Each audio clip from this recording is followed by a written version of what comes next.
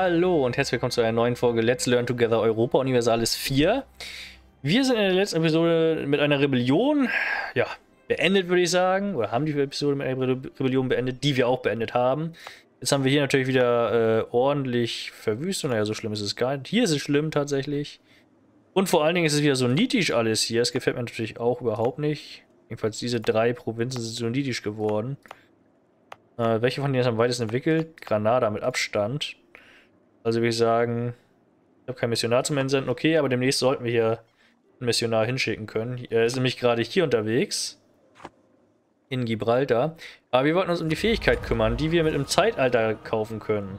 Das heißt, wir haben jetzt hier mit diesen Fähigkeiten, die wir, oder mit diesen Sachen, die wir geschafft haben, so viele Punkte angesammelt, 800 Stück, um etwas kaufen zu können.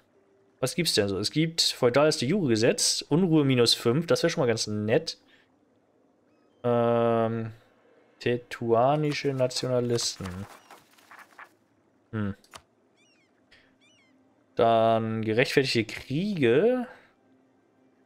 Untertanen übertragen in Friedensverhandlungen zu halben Kosten. Verbesserte Kriegssteuern. Hm. Verhältnis Kavallerie zur Infanterie. Plus ein Grundsteuer bei Fertigstellung einer Kolonie. Ich glaube, wir müssten irgendwann demnächst mal Kolonien bekommen, vielleicht. Vielleicht ist es gar nicht so schlecht. Kampfbonus für Terrain. Was ist denn unsere Toledo? Toledo ist Grünland. Grünland oder Grasland? Keine Ahnung. Das heißt. Grünland, Grünland. Wir würden Kampfboni kriegen in Grünland. Ich sehe uns kein. Ich hoffe auf höher entwickelte Kolonien irgendwie. Würde ich sagen. Äh. Ich nehme die höher entwickelten Kolonien, auch wenn wir noch keine Kolonien haben. Aber ich hoffe, wir haben demnächst die Möglichkeit, welche zu entwickeln, denn das wäre ja schon nicht schlecht. Beziehungsweise, wie haben wir denn... Ja, das hier hat jetzt ja schon Portugal sich gesnackt. Und sogar schon die Renaissance gefördert da. Irgendwie ist die Renaissance übergefördert, nur bei uns nicht. Da haben wir scheinbar auch nicht so wirklich erfolgreich. Wir sind die einzigen, die noch zurückhängen. Und ein bisschen was im Heiligen Römischen Reich. Selbst Polen und sowas alles also ja, wir sind da auf jeden Fall...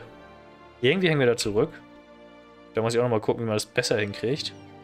Teil eines Staates, Hauptstadtstaat, Friede, positive Stabilität. Aber hatten lange Zeit negative Stabilität. Vielleicht hat uns das zurückgeworfen, ich weiß es nicht. Ähm... Ja, leider steigt unsere Mannstärke verdammt langsam. Und wir müssen, was ich vergessen habe, äh, eine Versammlung einberufen. Jo. Die Stände von Kastilien, bla bla bla. So, was möchte Klerus denn? Baut ein Haus Gottes in Sevilla. Eine Kirche in Sevilla ist wahrscheinlich gar nicht so schlecht. Da kann ich mal gucken, was wird eine Kirche in Sevilla uns denn bringen. Gebäude, Kirche in Sevilla. Es bringt sogar 0,17. Das ist echt verdammt viel. Also die zweitbeste Provinz für eine Kirche. Die Adel möchte die Rekruten, das schaffen wir nie. Äh, Marktplatz, Handelsdepot und Börse. Oder Börse. In Leon. Warum denn in Leon? Was kann Leon? Bist du ein Handelsumschlagsplatz? Bist du tatsächlich? Also entweder hier einen Marktstadt, einen Marktplatz bauen oder hier eine Kirche bauen. Dann würde ich jetzt tatsächlich mal entscheiden. Der Klerus ist am wenigsten loyal und der Klerus muss über 50% kommen, dass wir noch einmal Land beschlagnahmen können. Also ja, wir machen den Vorschlag des Klerus, äh, eine Kirche oder Kathedrale zu bauen. Dann bauen wir hier direkt eine Kirche. Okay, und in elf Monaten sollte es fertig sein. Dann könnte ich schon wieder Kronland beschlagnahmen. Hoffen wir, dass einfach mal alles so funktioniert, wie ich es mir ausgedacht habe. Eine weitere Kernprovinz. Ich liebe dieses Posaunengeräusch. Das macht mich irgendwie glücklich. Äh, traurige Nachrichten, Ferdinand ist gestorben, Staatsehe ist damit vorbei. Schade. Äh, kann ich eine neue Staatsehe mit euch... Wo sind denn die Staatsehen? Die sind doch hier unter Dynastie. Staatsehe, ja, sollten wir weiterhin führen, denke ich. Mit Österreich. Jupp, großartig. Großer Ball in Toledo. Der Adel hatte eine Vorliebe für hat eine Vorliebe für glamouröse Bälle, Staatsbankette und andere Extravaganzen zur Unterhaltung entwickelt. Obwohl sie ziemlich teuer sind, sind sie eine ausgezeichnete Gelegenheit, die Großzügigkeit von Kastilien und die, Königs, die des Königs selbst zu zeigen. 10 Prestige für 40 Dukaten. Ich denke, das ist ein guter Tausch. Wir gehen dafür nicht ins Minus. Unser Prestige ist langsam, also langsam sehe ich hier nichts Rotes mehr. Ich habe das Gefühl, es könnte gut sein. Ähm, das Einzige, was mir stört, ist, dass wir wenig Kronland haben. Aber daran arbeite ich ja. Ich glaube, wenn wir über 30% kommen, dann ist dieser Malus hier auch weg. Ähm Und ja, dann müssen wir mal gucken, was, äh, wie weit wir denn sind, wenn hier die Kirche in, in Sevilla gebaut ist. 30. April. Österreich ist wieder eine Großmacht. Eine weitere Kernprovinz. Ich glaube, jetzt haben wir alle Kernprovinzen. Kann ich das irgendwo sehen? Ähm, nein, ich kann es nicht wirklich irgendwo sehen. Wirtschaft, Handel. Irgendwo kann man das bestimmt sehen. Ich möchte auch endlich diese Ideen hier haben. Ah, so viel, was ich möchte. Äh, Stabilität. Religion. Ist es auch nicht. Hm. Ja, weiß ich nicht. Muss aber, ich glaube schon, dass man Oder kann ich es hier sehen? Nee. Äh, hier und dann unter Entwicklung vielleicht. Starten. Ah ja. Ach, wenn der Staat nicht eine Kernprovinz wäre, könnte ich... Also ja, ich glaube, jetzt habe ich alles als Kernprovinz. Handelshaus. Handelshaus Kompanie gar nicht so. Was ist das denn? Auch sehr interessant, aber es hat... Ich weiß nicht, wo ich das bauen könnte. Scheinbar nirgends. Steuererlasse. Ja, die Forschungsbemühungen muss ich weiter... Ja. Aber gut, dann habe ich das schon mal rausgefunden. Hier kann man auch direkt die Entwicklung ausbauen. Äh... Zur Kernprovinz machen. Hier könnte ich sehen, dass ich keine Projekte... Okay, gefunden. Und hier kann man direkt Missionar. Das ist einfach eines der besten Fenster. Hier muss ich mich mehr daran gewöhnen.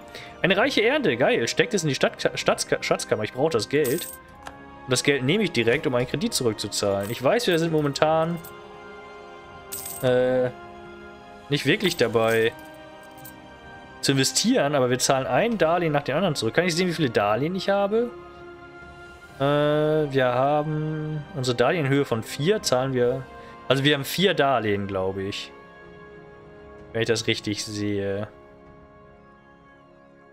Unsere Inflation ist ziemlich hoch. Das macht aber nichts. Wir müssen demnächst forschen.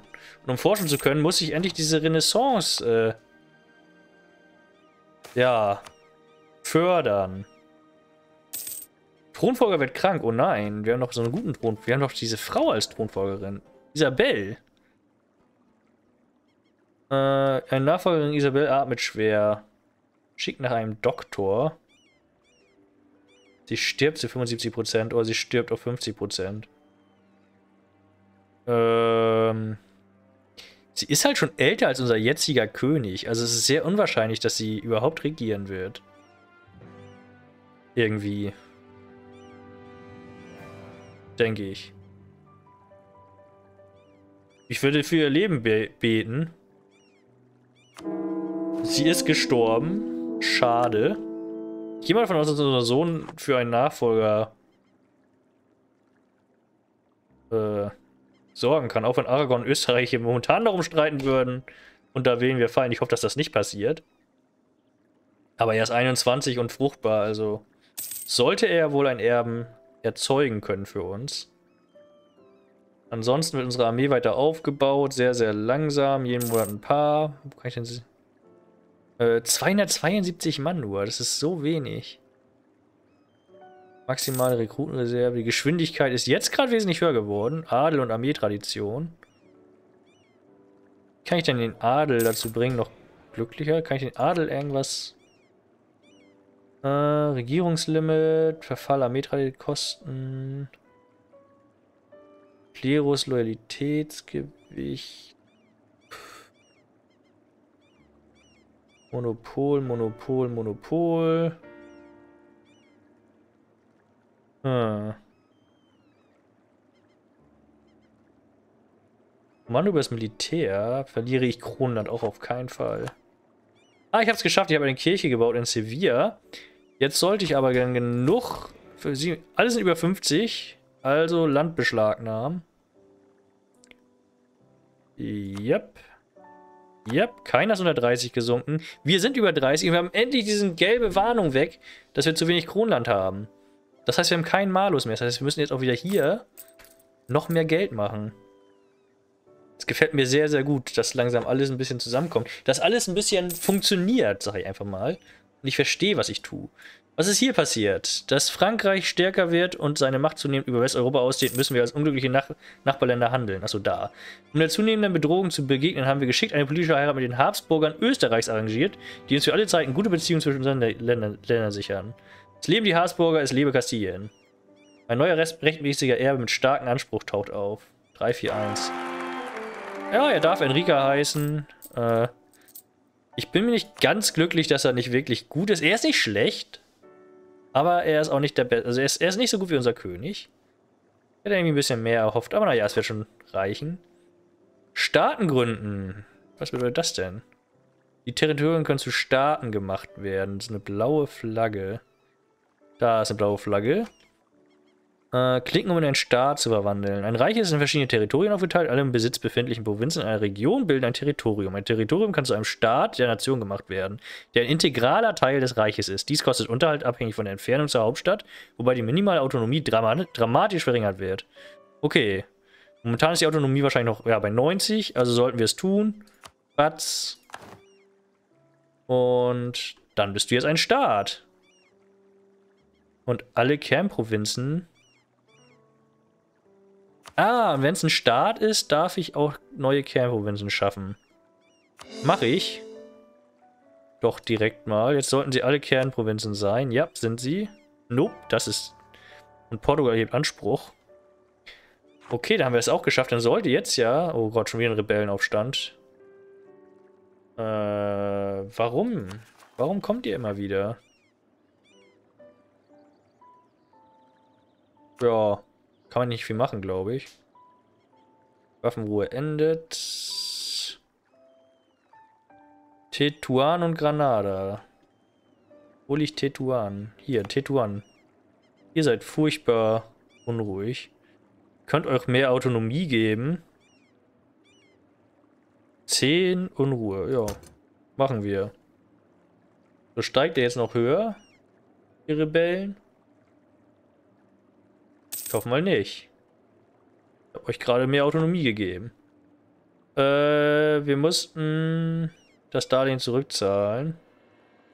Ja, möchte ich. Ich möchte das Darlehen zurückzahlen, nicht einen neuen Kredit aufnehmen. Jetzt müssten wir nur noch drei Darlehen haben. Sehe ich das richtig? Ja, wir haben noch drei, drei Darlehen. Wir nähern uns der Schuldenfreiheit. Das gefällt mir. Dieses Geldmachgeräusch gefällt mir auch. äh... Ja, ansonsten, äh, man kann bestimmt noch viel, viel mehr machen hier gerade, aber ich möchte meine Punkte für Forschung aufsparen. Heretiker von Gibraltar sind konvertiert. Endlich. Äh, ich würde sagen, es geht direkt weiter mit dem, was am schnellsten geht, und das ist Almeria.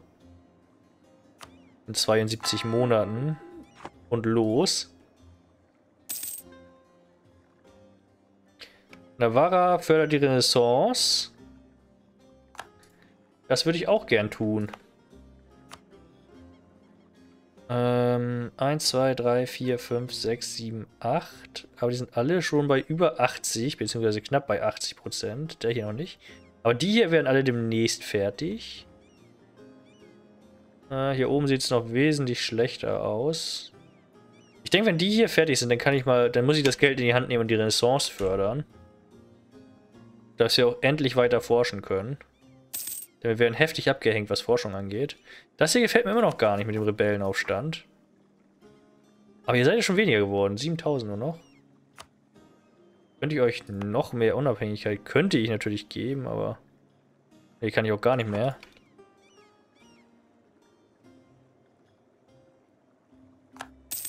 Was wäre denn, wenn ich euch hierhin marschieren lasse? Auf diese Region. Da weiter drillen lasse. Dann sollte doch hoffentlich durch die Armee das Ganze auf Null fallen. Sehr schön. Freundliche Truppen minus 5. Und hier ist auch keine Unruhe. Dann haben wir es ja unter Kontrolle gekriegt. Und sie sinken auch, sind von 90 auf 80 Prozent gefallen. Die granadischen Rebellen dagegen sind noch nicht ganz so happy. Ihr kriegt aber ganz sicher nicht mehr Autonomie. Ihr sollt einfach so bleiben, wie ihr... Weil ihr macht mir ordentlich Geld, glaube ich. Das handelswert. Äh, Kosten, Kulturänderungen. Missionars... Das sollte ich hier einsetzen. Missionärstärke. Stärke. Ich bin doch gerade mitten am Konvertieren hier. Die nehmen wir für 50 Armeen. Und die Baukosten sinken sogar auch. Und gibt es irgendwas in den Gebieten da oben, was mir vielleicht viel Geld bringt als Gebäude? Wenn ich hier zum Beispiel eine Kirche bauen möchte in Granada, bringt sie so viel Geld.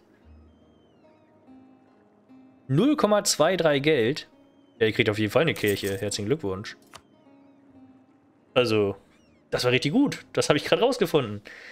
Äh, Versammlung ist abgelaufen. Wir dürfen erneut eine Versammlung einberufen, würde ich dann sagen, oder? Nein, bis 79 nicht. Sind aber noch alle loyal. Das läuft also auch ganz gut. Die Darlehen werden bald fällig. Den kann ich auch nicht zurückzahlen, ohne ein neues Darlehen aufzunehmen. Schade. Da lässt unsere Inflation also noch ein wenig steigen. Aber auch die ist... Warum sinkt sie nicht mehr? Da muss ich mal ganz kurz... Moment, Isabel ist gestorben? Ich dachte, Isabel ist schon tot. Meine Ehefrau ist gestorben. Okay, meine Ehefrau ist tot. Aber ich wollte was anderes gucken. Ich habe doch jemanden, der... Ich dachte, ich hätte jemanden, der Inflation senkt. Scheinbar nicht. Ich hätte gerne hier einen besseren. Äh, du kostet mich viel zu viel Geld. Sorry. Gern halbpreisige. Vielleicht hier einen halbpreisigen. Stufe 2. Nee, auch nicht. Hm. Kann man nicht viel machen. Aber ich glaube, die Kirche in Granada wird uns ordentlich Geld bringen. Und Geld ist immer gut. Wir machen richtig Geld. Es läuft langsam richtig hervorragend, würde ich sagen. Wir haben auch keine Korruption mehr, die wir bekämpfen müssen.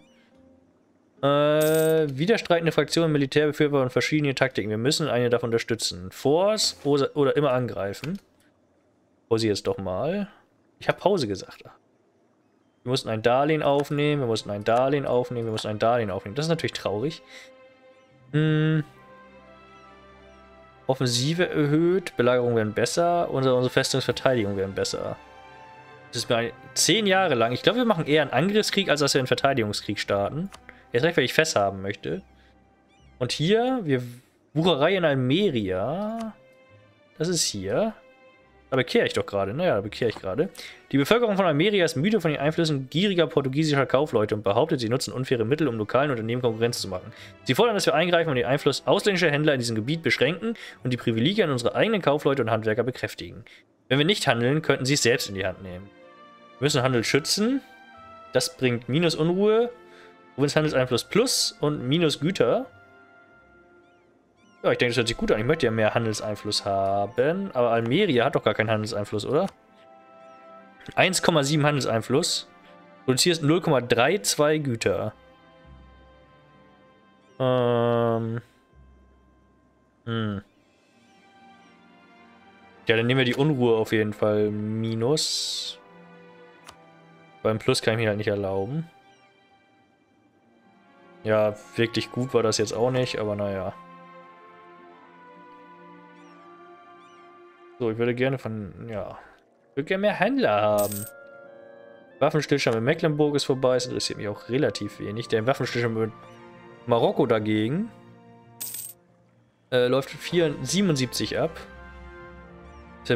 Gerüchte um das Herzogowina, ein Angriff auf Bosnien, das ist mir auch egal. Ich möchte nichts bauen. Aragon hat Tunesien den Krieg erklärt, mit einer Eroberung als Kriegsgrund. Was wollt ihr denn erobern? Äh, Mitilia. Das ist hier. Aha. Ihr wollt also auch in Nordafrika Fuß fassen, die Aragon Aragonesen. Und hier haben wir eine Anfrage nach Militärzugang.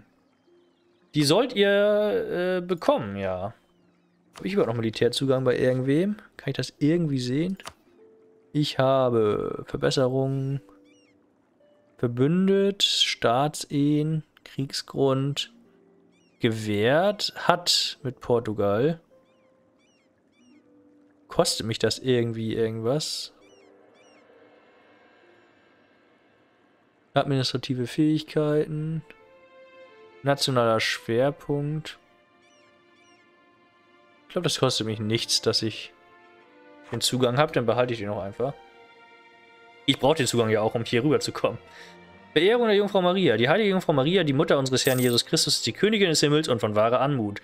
Es gibt keine vollkommenere Frau und ihre heilige Mutterschaft gewährt ihr einen Sitz zur Rechten Gottes. Oder nicht, sei kurz, argumentieren radikale, radikale Theologen, dass Fürbitten an sie nicht notwendig sind. Haben sie recht oder gerät die heilige Mutterkirche durch ihre beinahe schon ketzerischen Äußerungen Gefahr? Möge die Mutter Gottes ihnen vergeben. Reformbegehren, Papsteinfluss. Äh, ich denke, möge die Mutter Gottes ihnen vergeben.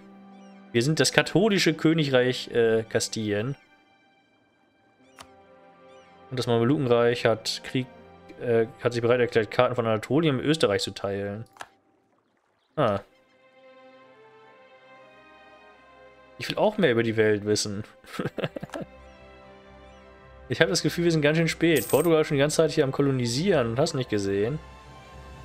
Und wir haben noch nicht mal irgendwelche nationalen Ideen. Gefallen gegen Dukaten. Österreich bittet uns darum, im Austausch für Gefallen 66 Gold zu geben. Nein. Was ich machen kann, ist ein Darlehen zurückzahlen. Doch nicht. Denn die Darlehen waren schon ziemlich hoch, die ich jetzt aufnehmen musste. Um die letzten Darlehen zurückzuzahlen. Aber egal, auch da werden wir rüber hinwegkommen. So, ich möchte ein Darlehen zurückzahlen. Danke. Was haben wir hier schon wieder? Unruhen in Granada diesmal.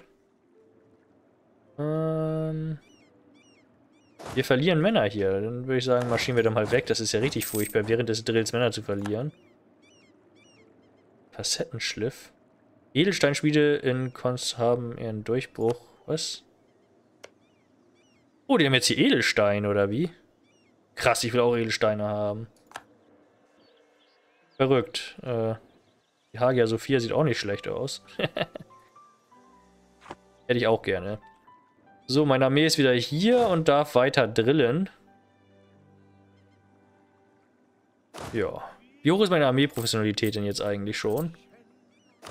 Sie ist bei 9%. Das ganze Drillen lohnt sich also tatsächlich. Ihr seid ja stillgelegt und ihr seid da hinten am Einfluss generieren. Ähm ja, ich würde sagen, das sieht doch ganz gut aus. Wir sind bald im Plus. Wir können in neue Technologie investieren, möchte ich aber noch nicht. Solange ich nicht wo ist es denn jetzt schon wieder? Äh, solange ich noch nicht hier auf Fördern gedrückt habe. Hm. Wie gesagt, wir warten noch ab, bis diese Regionen hier fertig sind. Das dauert ja nicht mehr so lange. Und dann können wir es in Angriff nehmen. Vielleicht deff ich hier ein bisschen im Militär. Äh, einfach nur, damit die Institution hier auch höher geht. Und ja, dann sollten wir nächste Episode dann hoffentlich die Institution Renaissance äh, fördern können. Und dann soll das Ganze auch eigentlich ganz gut aussehen, dass wir endlich auch wieder forschen können. Und mit besserer Militärstufe können wir dann auch den Krieg gegen Marokko erklären. Und mal sehen, was wir hier noch erobern können. Und dann uns um die Rebellen kümmern, die danach kommen werden. Aber naja, so ist das halt. Wir haben jetzt die ersten 30 Jahre hinter uns gebracht und ich denke, wir haben einige Probleme überstanden, einige Sachen verstanden, wie das Spiel funktioniert. Ähm, ich denke, wir haben noch viel zu lernen. Und ich freue mich auf jeden Fall, das Kolonialisieren, das hoffentlich demnächst anfängt, wenn ich dann endlich äh, in Forschung investieren kann. Und in Ideen. Und ja, es sind alles Sachen, die in den nächsten Episoden kommen werden. Deswegen würde ich sagen, schaltet wieder ein. Bis dahin, euer Mische.